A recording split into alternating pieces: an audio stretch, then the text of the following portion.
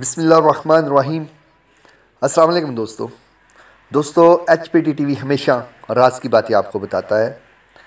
दोस्तों, आज मैं जो आपके लिए वीडियो लेके आया, इस वीडियो का मकसद सिर्फ़ कबूतर को बीमारी से बचाना है।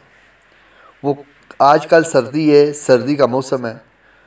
सर्दी में अक्सर कबूतर को सर्दी लगने से कबूतर बीमार हो जाते हैं। आज मैं उसके लिए गर्म पानी लेके आया, जो हम खुद इस्तेमाल करते हैं आजमूदा नुस्खा है। दोस्तों, ये आबी ज़माना इन बहुत ज़्यादा बेहतरीन पानी दोस्तों, चलते हैं वीडियो की तफसीत में। हाँ दोस्तों, वीडियो की तफसीत में जानने से पहले एक छोटी सी गुजारिश है कि जिन दोस्तों ने अभी तक मेरा चैनल को सब्सक्राइब नहीं किया, वो मेरे चैनल को ज़रूर सब्सक्राइब कर लेना और साथ घंटी वाले बटन को ज़रूर दबाना। हाँ दोस्तों, सबसे पहले हमें सौंफ चाहिए। सौंफ एक छटाकी। काली मिर्च, सत्तर अदद, सदद दाने ले लेना। जवैन एक छटाकी लेनी है। लाचियाँ लाचियाँ बड़ी मोटी काली मिर्च और काली लाची होती है ना, वो लेनी है पाँच अदद। पुदीना, पदीना कितना लेना है? कि एक गठी लेनी है दुकान वाले से, एक गठी ले लेना और ताज़ा होना चाहिए। ऊपर से उसके पत्तियाँ जो होती हैं, वो मुकम्मल पत्तियाँ उतार लेनी है। वो पत्तियाँ सारी की सारी रख लेनी है। और दो किलो पानी लेना दो किलो पानी।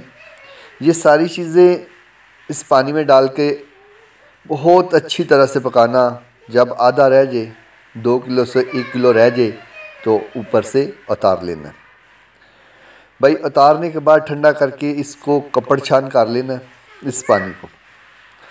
और किसी साफ़ सी बोतल में इसको पानी को संभाल कर रख लेना। भाई, हफ़्ते में सिर्फ़ एक मरतबा इस पानी को यूज़ कराना है, ज़्यादा ज़्यादा दफ़ा नहीं, सिर्फ़ एक मरतबा हफ़्ते में यूज़ कराना है, कबूतर को देना है। वो किस तरह देना है?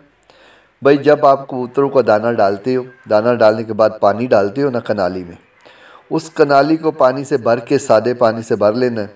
और जो चाय जिसमें पिए जाते हैं ना कप, चाय वाला कप वो लेकर उसमें बना हुआ पानी, वो मुकम्मल कप लेना है बना हुआ पानी। और उस नाली में ये बना हुआ पानी एक कप डाल दो। और कबूतरों के आगे रख दो। बीच में सादा पानी मिक्स करना है, वो पूरी नाली भरी होनी चाहिए सादे पानी की। और इसमें एक कप जब डाल लोगे तो कबूतरों के आगे रखो, जितना पीते हैं पीने देना। ये सिर्फ़ हफ़्ते में एक मरतबा कराना है। इन आपके कबूतर सर्दियों में बीमार नहीं होंगे।